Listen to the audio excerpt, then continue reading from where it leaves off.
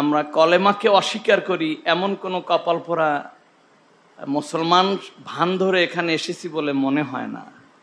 আমি জিজ্ঞাসা করতে চাই, আমরা কি ইমানের মূল মন্ত্র কলেমাকে আমরা বিশ্বাস করি? সকলে একটু সমস্যারে কলেমাটা পাঠ করেন। মোহাম্মদ রসুল্লাহ কলেমায় শাহাদাত আসাদু আল্লাহ ইলাহা ইল্লাল্লাহ। আন্না মুহাম্মাদান আবদুহু ওয়া আমরা সকলেই কলেমায় বিশ্বাসী মানে আলহামদুলিল্লাহ। আমরা কি নামাজ পড়া যে ফরজ, এ কথা কি আমরা বিশ্বাস করি? রমজান মাসে রোজা রাখা যে ফরজ, এটাকে আমরা বিশ্বাস করি? টাকা পয়সা হলে জাকাত দেওয়া যে ফরজ, এটাকে বিশ্বাস করি? সম্পদ থাকলে, সঙ্গতি থাকলে, হজ করা যে ফরজ, বিশ্বাস করি? তাহলে কয়টা বিষয়কে আমরা বিশ্বাস করি? পাঁচটা। কলেমা, নামাজ, রোজা, হজ জাকাত আমরা পাঁচটা বিশ্বাস করি। কে কে এই পাঁচটা বিশ্বাস করি? আল্লাহ আমাদেরকে এ বিশ্বাসের উপর অনর থাকার তৌফিক দান করে এই পাঁচটা বিষয়কে আল্লাহ রসুল বলতেছে ইসলামের বেইজ, ইসলামের ভিত্তি। তাহলে ইসলামটা কি?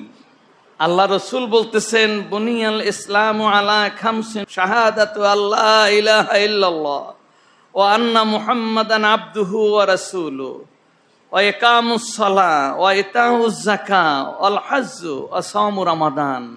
কলেমা, নামাজ, রোজা, হজ, যাকাত এই পাঁচটি হলো ইসলামের বেজ ভিত্তি। তাহলে ইসলাম কি? কেউ যদি মনে করে বেজের নাম বিল্ডিং সে কি সঠিক বুঝবে না বেঠিক বুঝবে? আর যদি এমনটাই হয় যে বেসকে ভিত্তিকে, ভবন কিংবা সৌদ কিংবা ঘর ভেবে যদি কেউ সেখানে পড়ে থাকে, তাহলে খোলা আকাশের নিচে তাকে বৃষ্টিতে ভিজতে হবে, রোদে পুড়তে হবে প্রচণ্ড শীতে হয়তো প্রাণও ত্যাগ হয়ে যেতে পারে। কশ্চিনকালও সে তার অস্তিত্ব রক্ষা করতে পারবে না। সে লাশে পরিণত হয়ে যাবে। দুর্ভাগ্য আমাদের। আমি জানি না, এটা আমাদেরই ব্যর্থতা। আপনাদেরকে বুঝাতে আমরা ব্যর্থ হয়ে গেছি। আমাদের অধিকাংশ মুসলমানেরই ধারণা, কি আলেম, কি গায়রে আলেম, সবারই ধারণা, কলেমা, নামাজ, রোজা, হজ জাকাত আছে তো আমি মুসলমান হয়ে গেছি। কি ঠিক কিনা? এবং তারা গর্ব করে, তারা এ নিয়ে অহংকার করে, তারা গর্বিত হয় যে আমার নৌকা ডুবতে পারে না, আমি জাকাত দেই। কি ঠিক কিনা এত ওয়াজ লাগবে না? আমার নামাজ, রোজা, হজ, জাকাত কোনো সমস্যা নাই। জান্নাতে যাইতে আপনার প্রয়োজন নাই। এভাবে আছে কি না? আর এই শ্রেণির মানুষগুলো অহংকার বশত কোনো আলেমের কাছে যাওয়া জরুরি মনে করে না।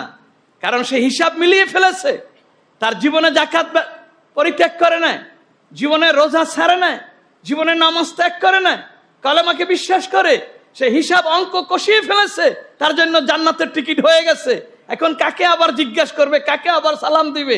সে এবার নিজে নিজে জান্নাতের টিকিট নিয়ে বসে আছে, আর অপেক্ষা আছে কখন মৌটটা এসে যাবে, আর বেসতে প্রবেশ করে ফেলবে।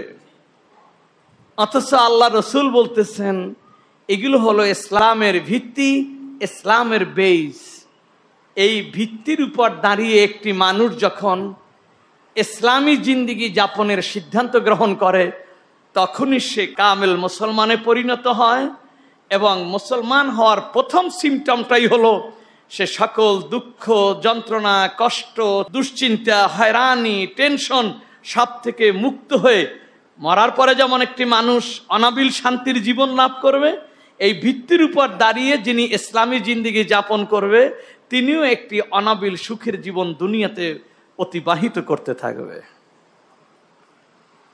তা আমরা দেখতে পাচ্ছি এমনও অনেক তাহাজুদ গুজার আছে, এমনও অনেক জাকাত দাতা আছে, এমনও অনেক রোজাদার আছে, শুধু বৎসরে একবার ফরজ রোজাই রাখে এক মাস, তাই শুধু না, সপ্তাহে সপ্তাহে, মাসে মাসে রোজা রেখে রেখে একেবারে ক্লিষ্ট হয়ে গেছে।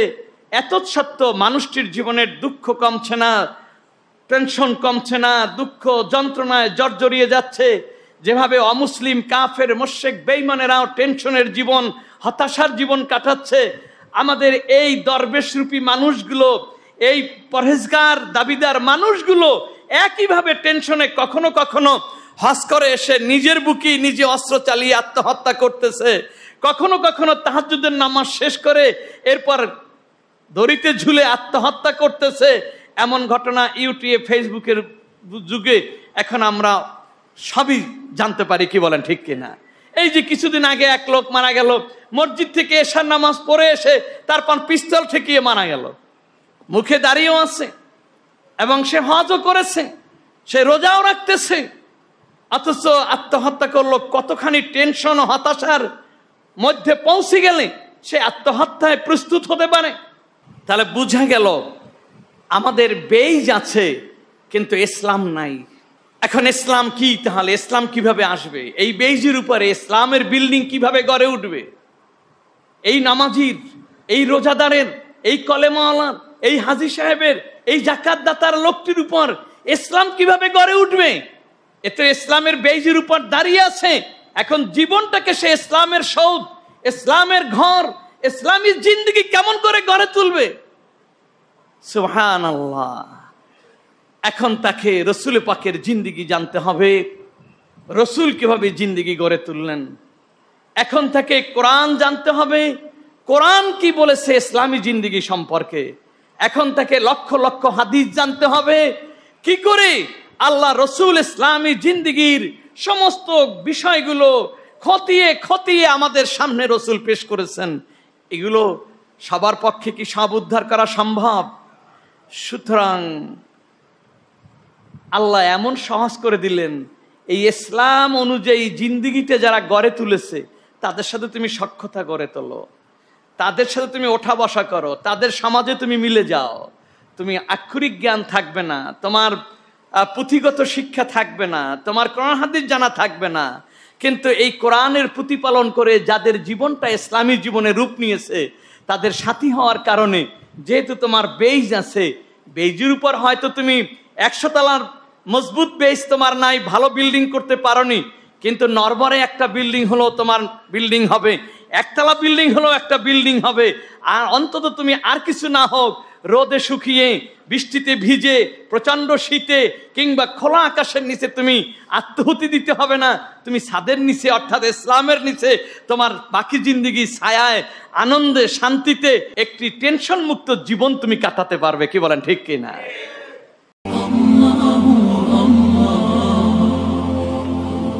আপনারা দেখছেন এটিআর টেলিভিশন। সত্য প্রবর্তনে ঐক্য।